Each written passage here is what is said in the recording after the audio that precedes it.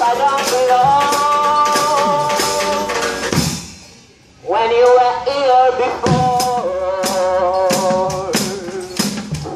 I couldn't watch in your eyes. You were an angel. Your skin made me.